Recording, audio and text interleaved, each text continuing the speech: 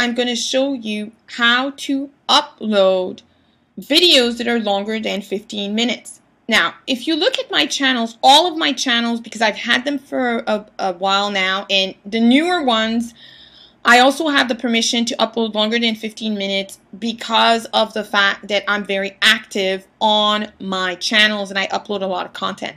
But one of my channels uh, was still, I still had not received the permission from Google slash YouTube to upload videos that were longer than 15 minutes. So I'm going to show you how I went about to get the permission to do so. Now I'm going to have to show you this to you in, in two steps simply because once you get that permission, that um, sort of link goes away. You're not going to see it anymore. So I want to make sure that you see it. So first off, you're going to have to go up here to the upload button and when you click on the upload button on your channel you're going to land on this page. Now as you can see here in my case it says congratulations. Your account is now enabled to uploads longer or for uploads longer than 15 minutes. So this is perfect. I can have although a lot of the videos that I upload here on this channel are snippets. They're two minutes long. But the very popular video interview that I did with Lisa Nichols is 20 minutes long. And I was able to upload it because I've had this permission for a fairly long time. Now, if you're new and you don't have the permission and you have a longer video. Now, why would you have a longer video? Because you know now by now that the ideal length is two minutes to five minutes. You want it to be quick, snappy. You don't want to drag things on forever. However, in some cases, there are videos that have that I've shot that are just a little with interviews that are just slightly over 15 minutes because the content was really great and I didn't want to cut it out at the 15 minute mark because it just doesn't make sense with the flow of the conversation.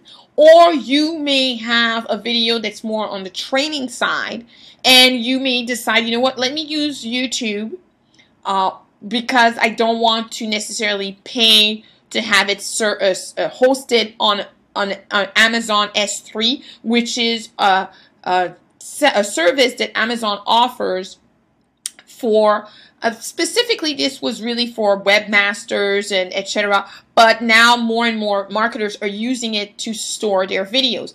It does take a little know-how to navigate the s3 and you may decide i don't want to go there I want to use YouTube, but I want to upload a video that's longer than 15 minutes. What you would do is you're going to come to this page, as I've said, and your page is going to look like this.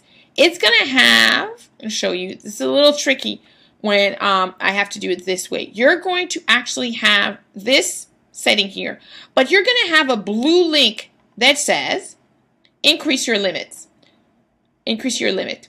So you're going to have here select file from computer, and right underneath, you're going to have increase your limit. You're going to click on the increase your limit link, and it's going to prompt you, and it's going to say, well, if your account is in good standing, and that is why I always suggest that you start with a Gmail account for each channel. Don't use another account. It's just easier to use a different Gmail account for each channel. Then you're going to automatically be linked to that account. So Google is going to be able to test and say, okay, your Google account is in good standing.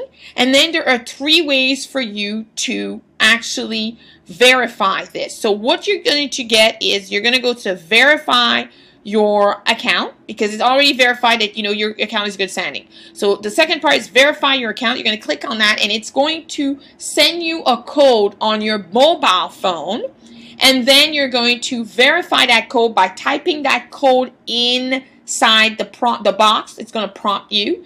And then when it's actually confirmed that that is the correct code, you're going to see in your account exactly this message. Congratulations, your account is now enabled for uploads longer than 15 minutes. So this, again, very practical to know if you have videos that are just slightly above 15 minutes and you don't want to do editing. In some cases, the editing doesn't make sense because it really sort of dilutes the flavor of the video. Definitely try to keep them shorter, but if you need to know where that function is, then you know where it is.